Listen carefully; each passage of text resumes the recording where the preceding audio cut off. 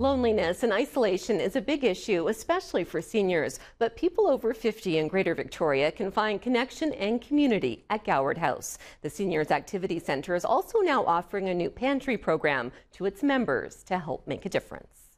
I'm just going to take a lasagna out of the oven. Myrna Rose loves to volunteer at Goward House. And that's all ready to go. I just felt that there was a need, and then I met more people, and I've met some very, very good friends some of my best friends here.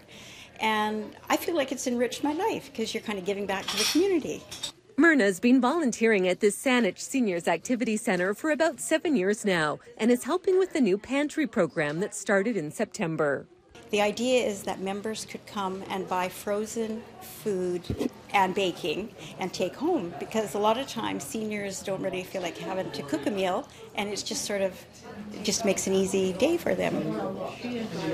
The Drop In Center, which is open Monday to Friday, is a home away from home for people 50 plus. We have friends, we have opportunities to strengthen our bodies with all the different physical activities and to exercise our brains with and all mahjong, all this sort of things that are really good for those of us who are getting on in age to make sure we got strong brains and strong bodies.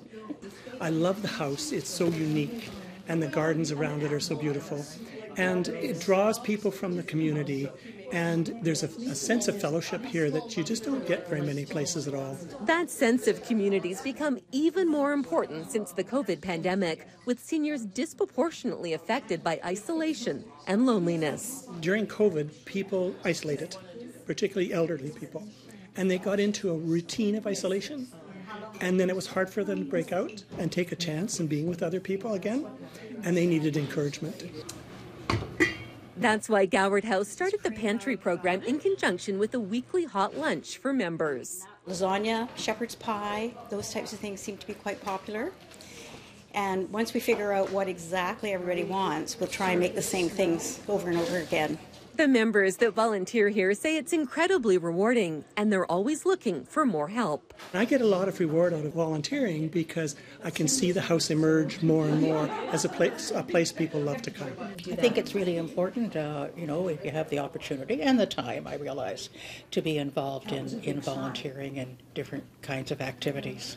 I never thought I was a social person until I joined here and I realized that it is something that I really, I really like. Vital People, brought to you by the Victoria Foundation, connecting people who care with causes that matter.